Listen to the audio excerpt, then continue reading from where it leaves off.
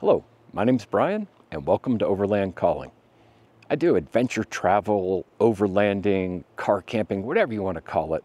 Um, I travel all over the United States, working out of my Jeep Gladiator as my mobile office. And how am I able to do this? The answer is pretty simple. Right there on top of the tent is my Starlink Mini, because there is absolutely no cell phone reception here.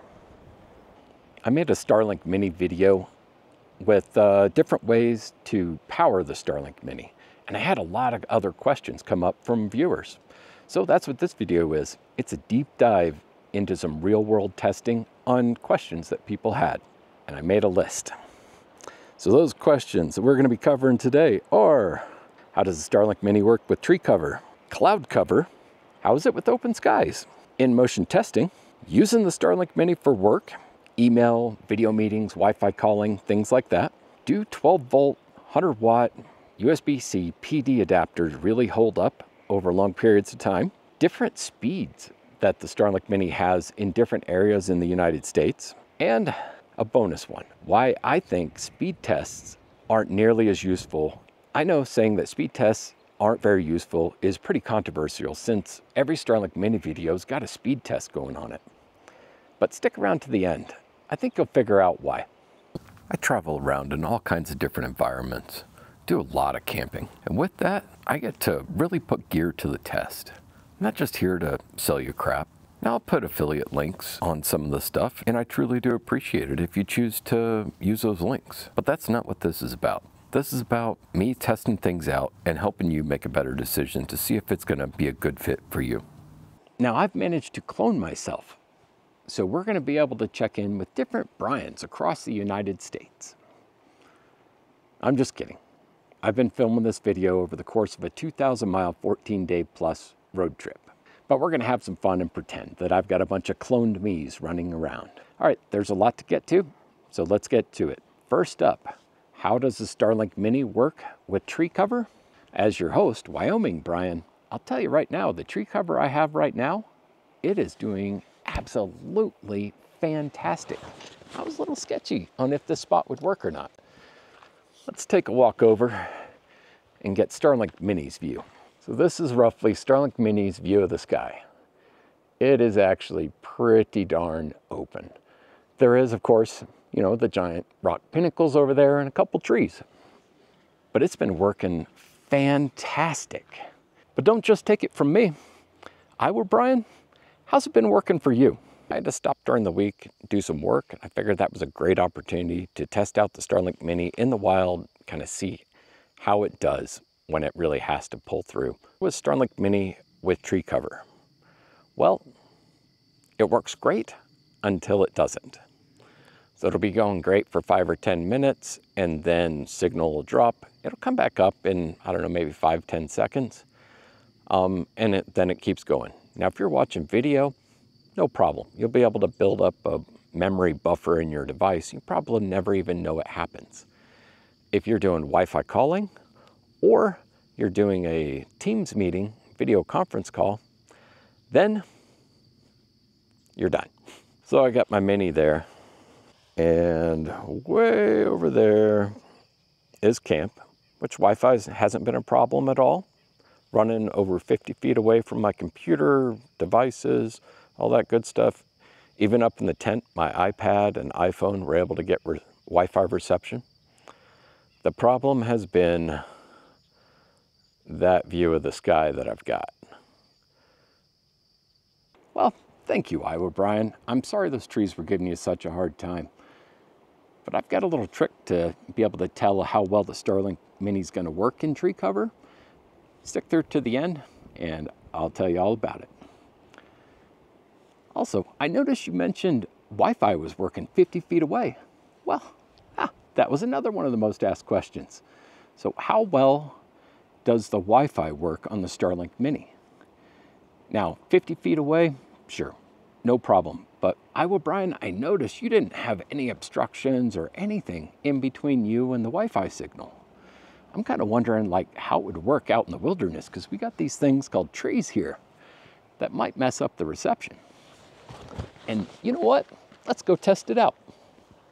All the way down that embankment where I want to hang out and work, right by the stream, that's pretty good distance away from where I got the Starlink Mini on top of my tent. How about let's just go check it out. Don't laugh too much my old butt crawling down this steep embankment. I'm risking my life for a YouTube. It's all for YouTube testing right here. That, and I really want to work by stream. Hey, don't laugh. This is steep. I know it doesn't look like it on camera, but it's pretty darn steep. All right.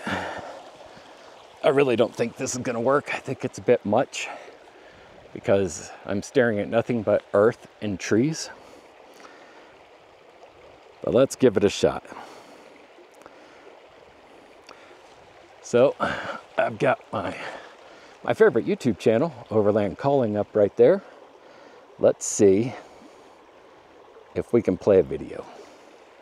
Doing a series dedicated to trail guides and kind of just ways for people to check to see if the trail is okay for their vehicle. Oh, on, get a little information. That's pretty cool. It's just trails. I run trails. I show you what's Oh, it's one of my favorite you're videos. I'm just going to check it out. I'll be back with you shortly. While you're waiting for me to finish the video, uh, South Dakota Brian, why don't you tell Tell us how Starlink Mini was working for you. How's the connection in open skies with light cloud cover? Well, pretty dang good. I didn't get one single ping drop or signal loss or anything in 30, 45 minutes. And yeah, I mean, it's just operating solid. Thank you very much, South Dakota Brian. And you know what? Out here in Wyoming, I've had a fair amount of clouds and rain as well. And you know what? In moderate rain, I haven't noticed any sort of drops or anything like that.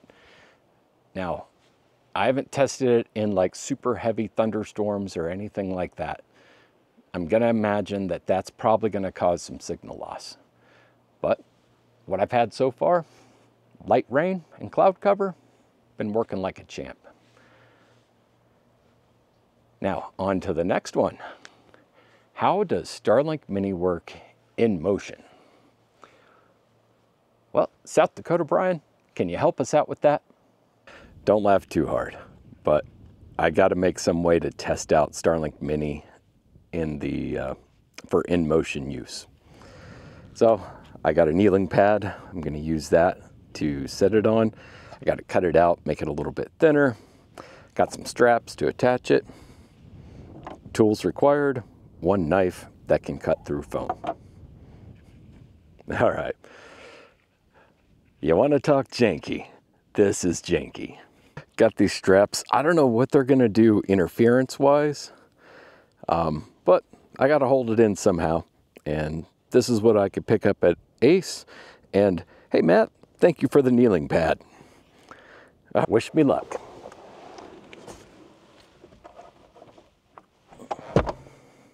Oh, all right, folks. It may not look pretty, but that sucker works. Heck yeah. All right, time to hit the trail. See how it does actually moving. We're gonna see if this thing actually works in motion. Watch my buddy Fletch from All Things Overland. We have been watching this video for it's like 12 minutes straight, zero drops, no issues. I'm gonna say yeah, prelim, trail test, open skies is working just fine. Starlink Mini testing. Got it mounted right up here. I do have the roof open because it's a pretty nice day. And uh, yeah, Pandora was working like a champ. Now Pan Pandora does buffer, so it can drop signal, pick it back up, and you'll never know. So what I did is I made a made a phone call home and checked in over Wi-Fi calling. And you know what? It worked great for about five minutes and then the call dropped. I mean, I'm not shocked. I'm going through trees, I'm changing angles, I'm turning directions, and like, you know, you name it. And I mean, I've got these things called, you know, I don't know if that's a mountain, but it's a big old hill. All right, we're gonna crank up the tunes and roll. Let's see what we got here.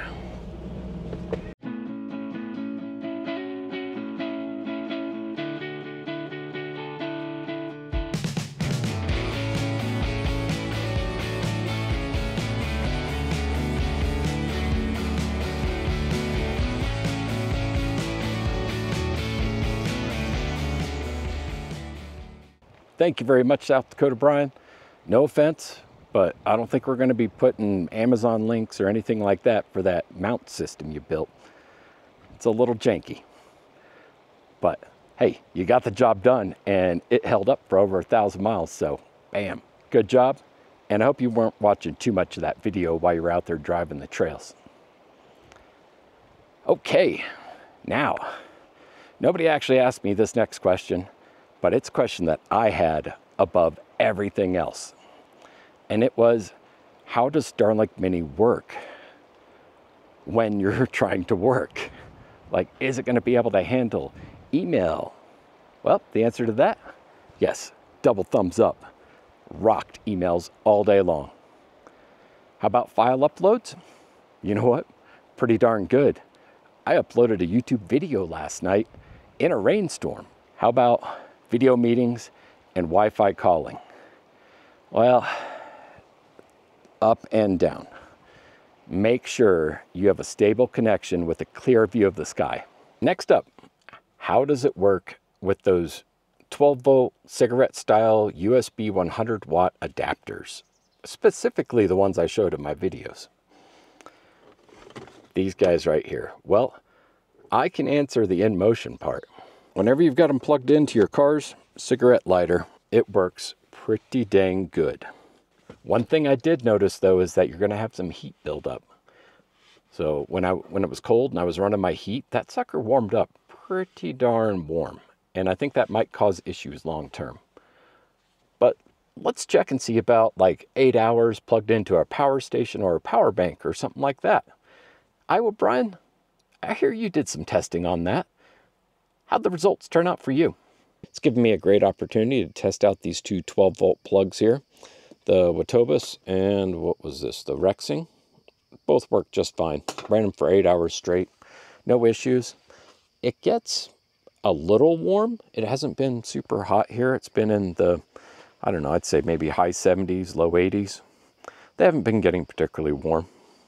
Thank you, Iowa Brian. And yeah, now I think you're right. Those cooler temps, I think caused it to actually work a little bit better than maybe we'd see if we were in a hot environment where you might get reboots or something like that. Nobody actually asked me about my 12 to 36 volt uh, converter that I custom built. But you know what? I know I'm biased. But I've had it plugged in here now for what, three days straight? I do put the Starlink Mini to sleep at night, but I haven't been unplugging it or turning it off. And tell you what, it works pretty dang good. I haven't had a single issue. So that's going to be my preferred method when I'm camping. Then I use the 12 volt cigarette style adapter when I'm driving. If you want to watch any of the power videos for the 12 volt adapters, USB-C 100 watt cord, um, or um, rough explanation of how I did that 12 to 36 volt uh, converter, um, I'll post a link in the end screen here so you'll be able to check out those videos. Now, what's up next? I made a list because my memory sucks. Ah, yes, speed tests across various areas in the United States. I'll take this one because I've talked to all the other Brians out there, and I can say Ohio, straight up good. I was getting 100, 100 plus down and in the 20 range up. Iowa, when I wasn't dealing with tree cover, I was still getting those great speeds. Uh, South Dakota, again, surprising, um, 100 plus great speeds. Wyoming, 100 plus great speeds. And that brings me to my last one. Why do I think speed tests aren't very useful? Well, that's because for what I need, what I really need Starlink to work is video conference calls and Wi-Fi calling. And speed tests only gives you a short little segment of time. Plus it eats up that data on your plan. What I've started using is actually the statistics screen. Let me see if I can show it to you. Instead of speed test, I go right here to statistics and then that tells me if I've got any signal drops or if I've got any latency issues. And that's why I think that speed test isn't a good indicator if you're going to be, you know, doing remote work on the road where you've got to do meetings and stuff like that. Speed test for me, it performed outstanding no matter where I've been at until it goes behind the obstruction and then it drops to zilch. So for me, statistics is where you go to check and see if you're going to be able to work from a location. Because I'm not going to lie, this one was a little sketchy. I rolled up here and I'm like, man, that's some obstructed sky. I mean, I've got freaking rock formations blocking the northern sky. Like, that's some serious obstructions there, folks. Plus, I got these tall trees coming up on either side. But you know what? I gave it a good 30 minutes of testing here. Noticed I had zero drops, and I said, oh, buddy, we got us an epic campsite for the week. This is my happy place while working. So anyway, thank you for dealing with all of my antics and, you know, the cloning thing and all that good stuff. I hope this video helped you out. And if you enjoy content like this, or if you found any of this information useful, do me a favor, hit that like button. Subscribe, blah, blah, blah, all that other good stuff if you want to. Um, I am going to do more Starlink videos. As long as people keep having questions, I'll keep answering them. So if there's anything I didn't cover, hey, leave me a comment below. And uh, I guarantee I will do my best to either answer you in the comments, and if it's something that takes a little more explanation, I'll make you your very own video. All right, thank you very much. Until next time, enjoy the ride.